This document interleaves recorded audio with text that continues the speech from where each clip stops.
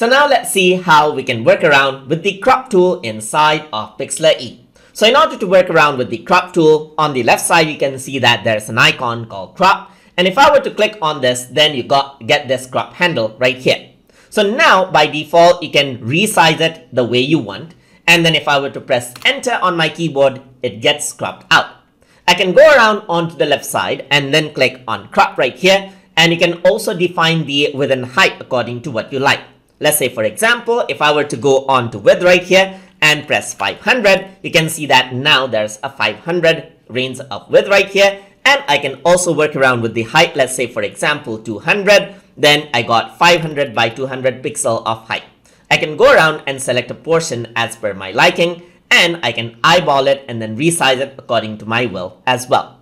So once I do that, you can see that this is the free constraint, but you can also go towards a particular ratio. Let's say, for example, if I were to select ratio right here, right now it's 1 by 1 ratio. Let's say, for example, if I need something by 16 by 9 ratio, then you can see that this is what you have. So if I were to resize it, it'll resize according to the ratio that you select right here.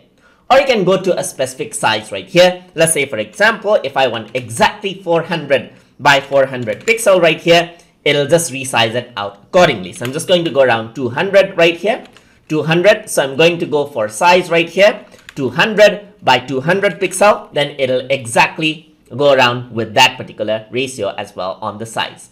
So on the preset, there's different uh, ratios that you can choose. So you can choose 2.1, 5.4 right here, 19 by 10. You can go around onto Facebook profile. You can go for Facebook cover and so forth, and it'll choose out the specific uh, setting for you. So you can go around right here, place it wherever you want, and you can reset it out or uh, you can apply to apply the changes. So once you do that, you can see that this is the crop that you see.